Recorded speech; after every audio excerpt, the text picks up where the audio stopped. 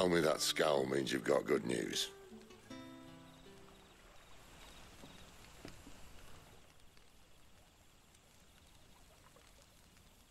So, a shady lad with a hood and his equally shady lass. Not much to go on, but But I've been thinking, if our friend is a dominant, why not just burn the royalists to a crisp? There's a reason he's holding back, and I reckon he has something to do with his partner.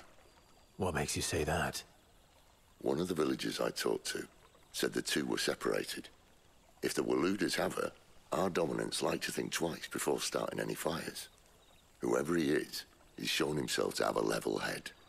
He's careful, cunning, and he doesn't want to be found. This could spell trouble. For us and the Royalists both.